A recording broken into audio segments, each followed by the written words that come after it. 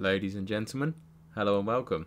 In this video, I'm going to be showing you 5 rat holes or hidden base locations on Crystal Isles. Now these are small spots and they're aimed for solos or duos. Now guys, I know these aren't the best spots, but all the best hidden spots are in thousands of videos over YouTube. That makes them not the best spot to stay hidden anymore, because everyone knows about them. So the idea of this video is to show you some spots that you might not have seen before. It's also been made very clear in a couple of the recent videos that I'm not the best at building defences. I did clearly state that at the beginning of the video, and that's just to give you guys some ideas, but a few people got pretty angry at it. I just want to make it clear that my guides are based more for the 95-ish percent of people who play the game for fun, and for people that are just getting into the game and just want to know some nice hidden spots, so that they're not just getting wiped every single day. So for most of these spots, I'll focus less on the defences and more of the builds, because it can be very awkward building on official when you just started. With that being said, I really hope you guys like this guide. Let's get into it. Also, thank you so much for a thousand subscribers. You guys are amazing.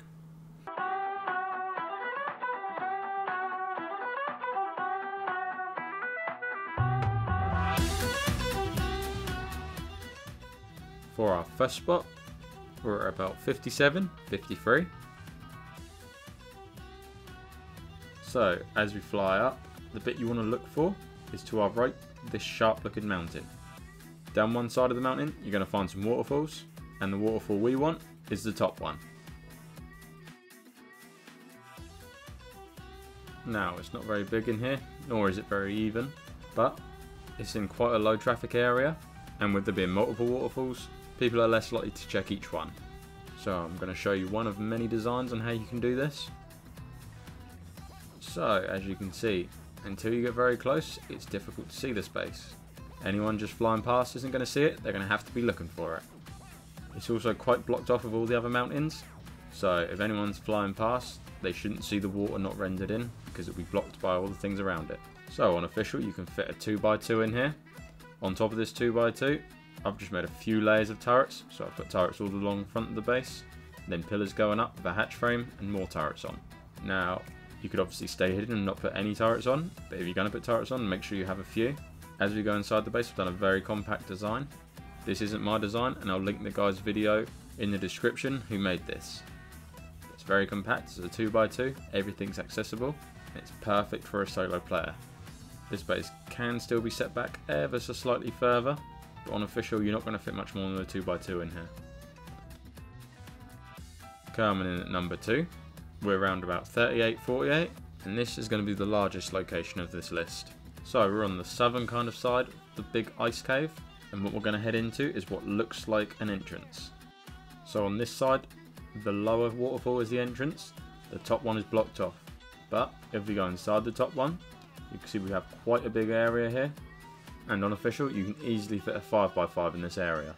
I nearly didn't include this spot as it's definitely not the best, it's a high traffic area and it's not the best protected, but the area is very flat it's still pretty hidden behind the waterfall, and it's good that you're pretty central in the map.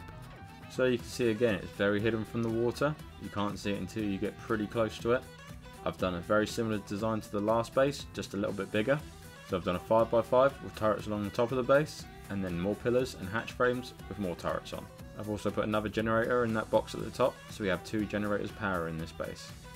Now remember again, you don't need turrets on this base, and you could stay smaller, but people are always coming in and out of this cave, so you're going to get found pretty soon.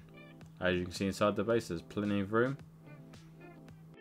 So this is going to be aimed more at a slightly bigger tribe or a boosted server. Be aware though, you do have no protection from on top of you, so things can be dropped on top of you. There's also land and a lot of areas to line of sight the base from in front, so you could struggle to defend this base. It is still hidden though, and someone's going to have to fly into you to find you. For our number 3 spot, we're at around about 57, 34. This is definitely my favourite spot on this list, but it is the only unofficial spot. So we need to head for this big island here. You could say it looks like a fish, I think it looks like a chicken wing. When you get to this island, you want to look round for the bridge. Once you find the bridge, you want to head under it and head down to the right hand side of it. So right up in this far corner, hidden behind all the vines, you can see a little ledge. As you get in there and look up, similar to the center redwoods crack, although not quite as good. We have another nice little crack heading up. Now this is nice because it's extremely hidden and can be very awkward and difficult to try and raid. Unfortunately though, there isn't a lot of space here, so it's definitely for a solo or a duo who want to stay very hidden and preferably aren't too fussed about breeding because you're not going to have the room for it. But anyway, let's see what we can make of this. So you could definitely extend from this base, but we've opted to stay hidden for now. So as we get close to the base, you can see there's a couple of turrets sticking out. These can't be seen from miles away, and by the time you see these, it's going to be too late and you're going to get shot. And once we're in there, all up the wall on the far side we've got turrets. I've got them placed on the wall so that they're harder to destroy. Then up higher, we've got room for just a couple of hatch frames with a couple of turrets on. In a spot like this, you don't really need loads of turrets. It's such a narrow spot that they can't fit much up here. So 10, 15, 20 turrets will be enough to do it. So I've built the base of two cliff platforms. I've built them both up as high as I possibly can. That way the turrets have the most range and the most time to shoot. Put a couple more turrets up here just to, you know, wind people up. Got our indie forge on our first floor. Then built it with stairs clipped into the wall so we have space. Then got our chem benches. Got four of them. We've got a couple of cryo fridges, got a couple of vaults, and we can fit a replicator in there and it doesn't stick out the top. As we turn around, I've made another kind of half floor just for foundations and ceilings. In this room I've put our bed and just an extra vault for like kits and things. I've then just put a little hatchery area and a fridge and a preserving bin. For how small this area is, there's still quite a lot of room. You can still put more things down here. You can hatch eggs up there. And there's still a bit of room on the bottom floor if you wanted anything else in here. I've just kind of got the essentials. But if you're a solo or a duo, you like to get close with each other, and you're on an unofficial server, this could very well be the spot for you.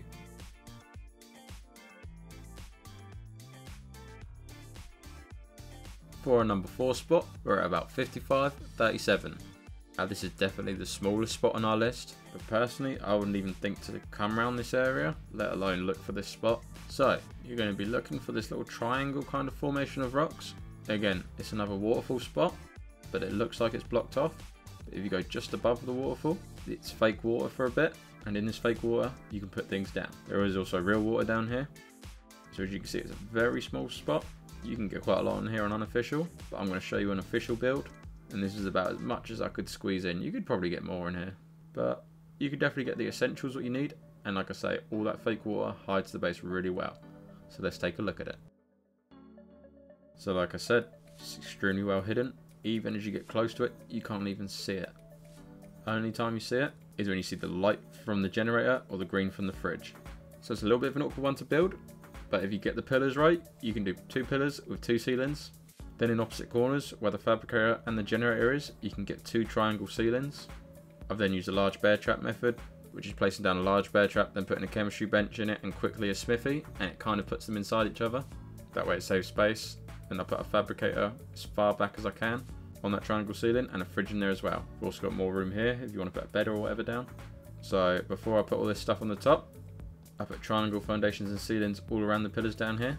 I then sunk two vaults into the water so that I had this for all my storage. As you can see there is more room down here but because of the rocks and everything it's very difficult to try and place anything down here. As you can see we've still got room to put some things down so you could expand a little bit if you want to but on official you're always going to be pretty limited for your space here. But it makes up for that with how well hidden it is. So finally at number 5, it's a bit of a weird one but I just stumbled across it accidentally. We're around 64, 35, and I think it's pretty well hidden because you don't really expect it. So we're looking for like the big open water with the island in the middle, and then on the western side of it where there's all the high cliffs, we are going to be looking for these vines, and we're looking for one of the vines in the middle. It's right next to the orange crystals that are pointing downwards. So as we go into these vines, you can see behind it, there's a nice ledge. And these vines are so thick that you can't see through them at all. And they're obviously not like ground clutter, so they render in with the map. You can see just how thick they are, so no one is going to be able to see in. The only way they can see in is from this right hand side, but that downwards pointing crystal also line of sight is this, so it's very difficult to see here at all. So let's have a go at making this base. So once again, you can see we've opted to stay very hidden. Can't see the space at all and where I've set it back quite far, even when you get past the crystal here, you still can barely see it unless you're at a perfect angle. This side of the cliff though isn't a very high trafficked area, so it's a pretty safe place to be. So we've got room on this ledge here where we can land our tames, do a bit of breeding out here if you want to. Then as we move further in, you can then see the base. So I've made it with just foundations around the edge and then I put fence supports down and then pillars in between the fence support so that people can't just fly in. With this, you also can't just fall out accidentally as you get stuck in the vines. It also just makes it look a bit nicer. Now, I've opted for no turrets on this build, but because we're hidden in the vines, you can very easily put some ceilings down and then some hatch frames and turrets. That will keep you better protected, but obviously if people don't know you're here and the turrets shoot them, then they are going to know you're there. So choose wisely.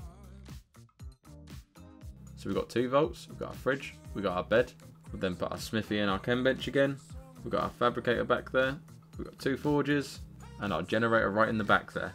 I've cut the base off here, but you can extend around more as the vines extend. But the whole idea of this video is to stay small and hidden for solos. The main area you see this base from is from directly underneath. You still have to be completely underneath, so people are unlikely to see it. And like I say, this isn't a high traffic area around this side. So I would happily take my chances in this spot. You're also very close to materials on this spot, as well as relatively central in the map. I hope you guys have enjoyed this video. If you have, please don't forget to leave it a like. And if you're new around here, consider subscribing. I've got loads of guides out there now. But for now, this has been 5 hidden base locations on Crystal Isles. Thank you very much for watching, and I'll see you in the next one.